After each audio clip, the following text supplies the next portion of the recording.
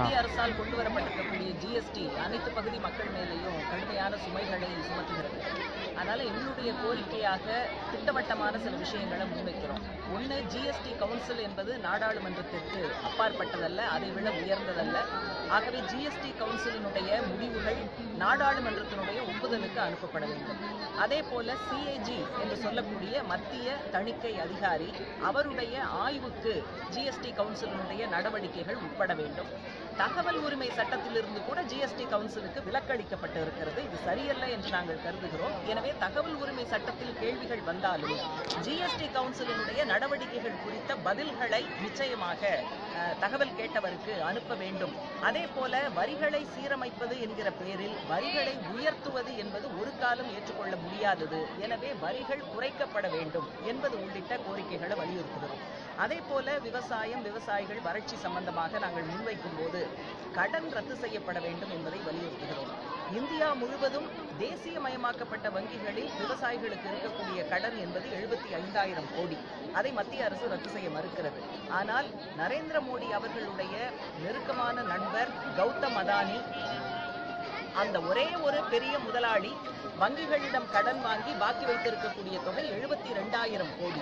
அவரிடமிருந்து வாங்கிய கடனை வசூலித்தாலே நிச்சயமாக விவசாயிகளுடைய ஒட்டுமொத்த பயிர்க்கடன் தேசியமயமாக்கப்பட்ட வங்கிகளில் இருக்கக்கூடிய பயிர்க்கடனை ரத்து செய்துவிட முடியும் என்பதையும் வலியுறுத்துகிறோம். அதே போல விவசாயிகளுடைய பொருட்களுக்கு விளைபொருட்களுக்கு நியாய விலை என்பது எம். எஸ். சுவாமிநாதன் கமிஷன் பரிந்துரையில் இருக்கிறது.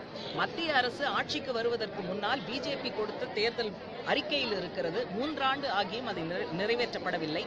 எனவே ஒரு சட்டம் வர வேண்டும் என்று நாங்கள் கேட்கிறோம். விவசாயிகள் தங்களுடைய விளைபொருட்களை எம்எஸ்பி என்று சொல்லக்கூடிய குறைந்தபட்ச ஆதார விலையில் விற்பதை உறுதி செய்கிற சட்டம். இந்த சட்டம் வந்தது என்று சொன்னால் விவசாயிகளிடமிருந்து அரசு கொள்முதல் செய்தாலும் தனியார் கொள்முதல் செய்தாலும் இந்த குறைந்தபட்ச ஆதார விலையில் தான் கொள்முதல் செய்ய வேண்டும் என்கிற நிலைமை உருவாகும். இது நிச்சயமாக விவசாயிகளுக்கு மிகப்பெரிய அள- அளவு ஒரு அஹ், நிவாரணத்தை கொடுக்கும்.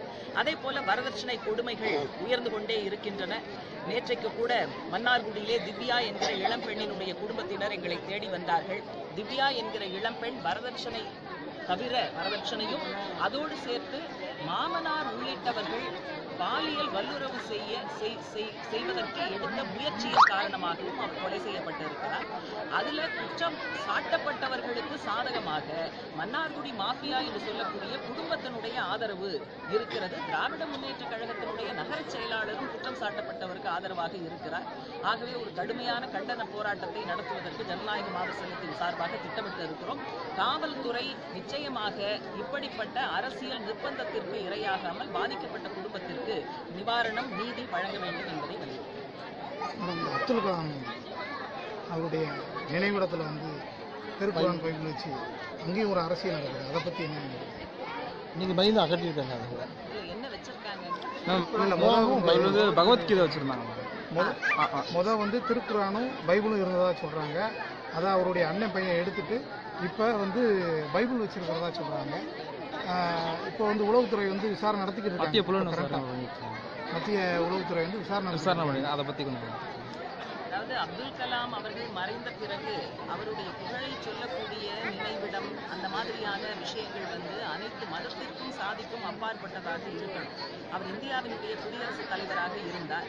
இந்தியா என்பது அனைத்து மதங்களும் சாதிகளும் பல தேசிய இனங்களும் பல மொழி பேசக்கூடியவர்களும் அடங்கிய பன்முகத்தன்மை கொண்டது என்பதுதான் இந்தியாவினுடைய அடிப்படை அஸ்திவாரம்.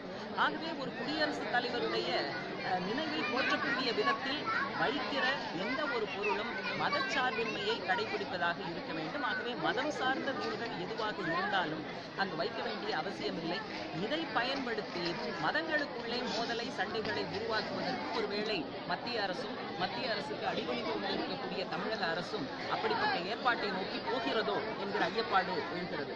அதே போல வரதட்சணை கொடுமைகள் நடந்தது என்று சொன்னால் தீர விசாரிக்க வேண்டும் என்றெல்லாம் இன்றைக்கு நீதிமன்றங்கள் சொல்லுகிறார்கள். அதே போல ஒரு நாடாளுமன்ற உறுப்பினரும் ஆண்கள் கணவன் தரப்பு இதனால் பாதிக்கப்படுகிறது என்று சொல்கிறார். நாங்க என்ன சொல்றோம்னா வரதட்சணை தடுப்பு சட்டம் என்பதெல்லாம் சுலபமாக வந்துடல. பல பத்தாண்டுகளாக பாதிக்கப்பட்ட பெண்களின் சார்பாக எங்களை போன்ற இயக்கங்கள் குரல் கொடுத்து அது ஒரு நிர்பந்தத்தை உருவாக்கித்தான் இந்த சட்டம் என்பது வந்திருக்கிறது. எந்த சட்டமாக இருந்தாலும் காவல்துறை தீர விசாரிக்கும். ஆகவே நானூத்தி தொண்ணூத்தெட்டு ஏ பிரிவு வந்தால் மட்டும் தீர விசாரிக்க வேண்டும். வரதட்சணை குற்றச்சாட்டு வந்தால் மட்டும் தீர விசாரிக்க வேண்டும் என்று திரும்ப திரும்ப சொல்லுவது வரதட்சணை குறித்த புகார்களையே வரவிடாமல் தடுக்கும் என்கிற கவலை எங்களுக்கு இருக்கிறது. இப்படிப்பட்ட பேச்சுக்கள் தவிர்க்கப்பட வேண்டும்.